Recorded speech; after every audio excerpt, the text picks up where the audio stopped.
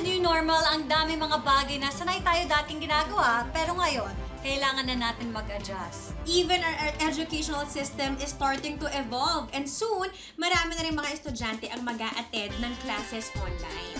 That's right, nagbabago na rin talagang idea natin ng uh, schooling pero kahit pa high-tech na ang pag-aaral, syempre kasabay niyan ang mga eksena ng mga students ibang klase na rin. Gaya ng makikita natin dito sa video na na-share sa atin ng isang sikat na TikToker na si Marvin Fohas. Good, morning, ma'am. Sorry po, late ma'am. Sorry po. Good morning. Opo, ma'am. Mm. Mm, okay po. Yes po.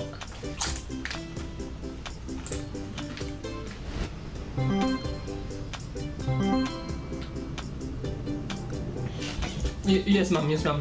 Uh, ma- hindi, may nahulog lang po. May nahulog lang. Uh, ano po yun, ma'am? Wait lang, ma'am. Wait lang po. Mm-hmm. Kailan po?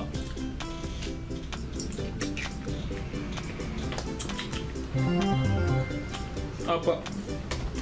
Hmm, yeah, gets. Hmm? Hmm, yun pala yun. Mm-hmm. Opo. Mm-hmm. Mm-hmm.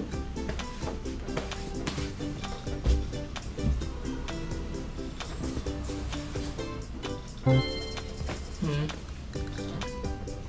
Wait lang po mama, wait lang po. Of course, gusto nating pasalamatan ang hit na TikToker ngayon na si Marvin Fohas. At Mars, Yes. wag ka. Ang dami niyang followers. Oh. At makakasama natin siya ngayong umaga. Eto na siya. Hello, Marvin! Good morning and welcome to Mars Pa More! Hi, Marvin! Hello po! Hello mga Mars! Hello Mars Ian, Mars Camille! Teka, Marvin, matanong ka naman namin. Ang dami mong iba't ibang klase mga kind of students. Pero ang tanong, alin ka doon? Patay tayo dyan. Siguro ako yung laging ano, laging late. Laging late ng student. Oh, pero Ganon. mali po yun ah. Mali po yung pagiging late. Ano, wag po nating kakasanayan yung pagiging late. Pero Talagang nagkataon lang po. nagkataon lang ngayon lang talaga ako dati. Pero medyo nagbago naman na po ako ngayon. Pero ngayon na online, pero ngayon na online, malilate ka pa rin ba? Minsan po nalilate pa rin talaga. Pero tatry ko po.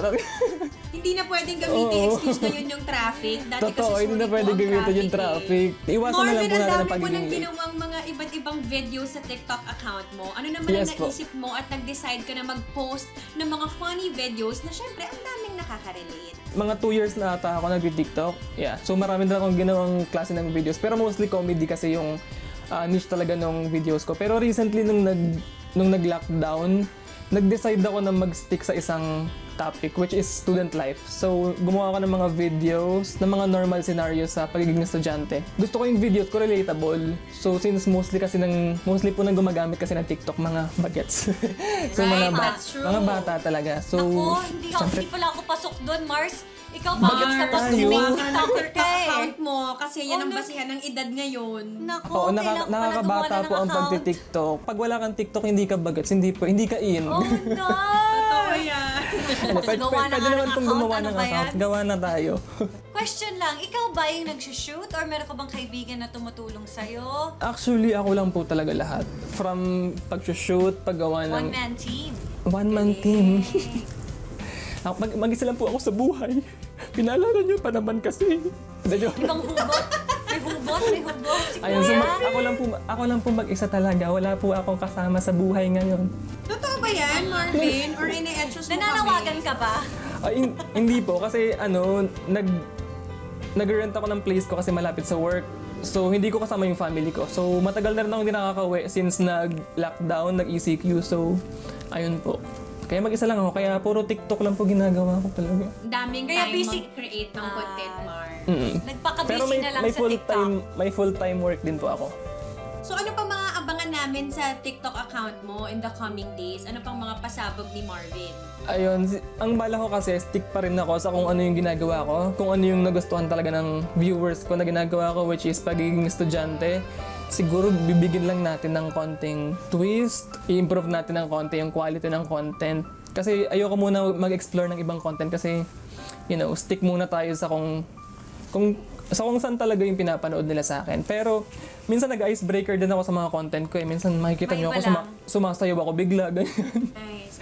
Kailangan Pero icebreaker lang. din. Pero kung saan ka magaling, kung ano yung strength mo, pagpatuloy mo lang. So yun po yung plan ko sa TikTok videos ko. And of course, improve yung quality. Kasi nitong mga nakaraan, mostly phone ang ginagamit ko sa videos pero minsan gumagamit na ako ng camera para level up naman yung quality. So marami pa silang aabangan sa mga videos ko na sure na sure na makaka-relate pa rin sila. Ah, mga namin yan, Marvin. Thank you Yes. so much. Thank you for sharing your videos with us.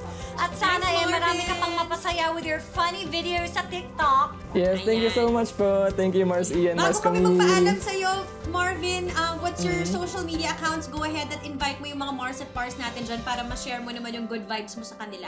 Ayun, i-follow niyo po ako sa mga social media accounts ko sa TikTok, syempre. Meron na po tayong 2.6 million followers dyan. Pero pag nadagdagan, syempre baka naman dagdagan nyo na ano, follow nyo Gawin na na natin ako. 3 million yan. pag nag-follow po kayong dalawa, bale, 2.6002. Okay, basta math kasi eh. Math. so follow niyo po ako at Marvs TikTok Fohas. na lang tayo. So same din po sa Instagram and Twitter at Marv's Fohas pa rin. Tapos meron din po akong YouTube channel. Nag-vlog din ako minsan. So Marvin Fohas and Facebook page Marvin Fohas din po. So hindi kayo mahihirapan dahil pare-pareho po ang pangalan ko dyan. Thank you, Thank you, Marvin! Marvin! Thank you po. Thank you.